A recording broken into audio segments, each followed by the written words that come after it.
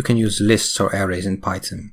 A list is a collection and this contains several one, zero or more elements. And so you could have a list of scores and this could have several numbers and that's how you would define a list you can print the whole list like this run it and you'll see the whole list of items. To get the first item you write this to specify that you want just an item and then you need to specify the item index. So we start counting from zero. So this is the zeroth element first element second element third element fourth element and so on. So zero is the first element and if you would run this you'll see it's the first element of this list.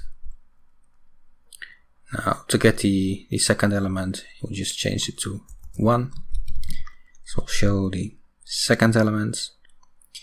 If you want the last element you'd probably think that you need the, the size of this list and then minus 1 but that's not the case. You can just type minus 1 here and that will get the last element. So that's the last element of this list to add items to this list you can use the append method and in this line specify what you want to add to this list. So now we add let's say some some big number. Run it and you'll see the number is or the item is added to the end of the list.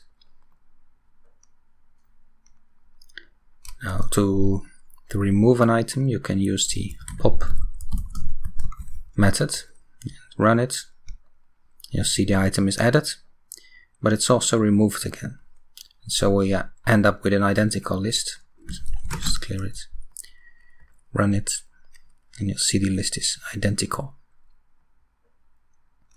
Now if you were to specify an index that's too high so let's say print index 20 there is no 20th element you'd get an error because the number the index number is larger than the amount of elements.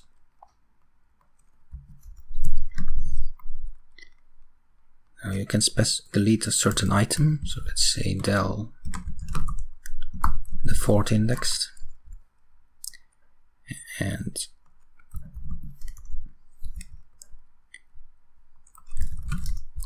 print both before and after. Run it and you'll see one, the fourth element has been removed using this del uh, command.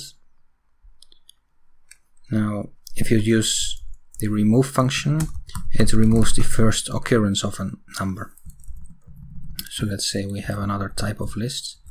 Uh, let's say 3 shows up several times, and then we say remove 3.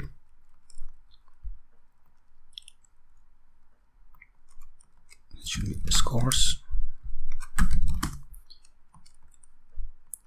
you'll see the it removed the first time the tree appeared, but it didn't remove the others. And so if we were to remove, let's say, add some number here, 7, remove 7, you'll see 7 is still in the list. So this remove method only removes the first element, first time this element appears in the list. Now to get the length of a list you can simply say x is length scores and then print x. So the length function will give you the length of the list. So there's nine elements in this list. So this sums up the basic lists. You can also combine lists if you want. So you have another list, you can say and then print x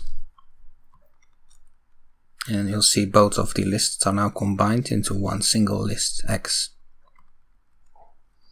and that really is, is a list in short a list uh, can also contain text variables and so strings or any type of object.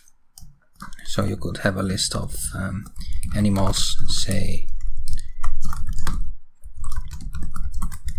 whatever, and this would work similarly. So you could get the first element using the zeroth index and run it. You'll see that it gets the zeroth or the first element. So this is just how you use lists.